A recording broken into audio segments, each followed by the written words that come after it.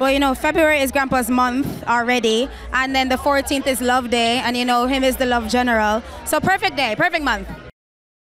This is the home of it all, so this is very crucial and very important that we're representing here and giving the Jamaican people a moment to also experience this. Yeah, man.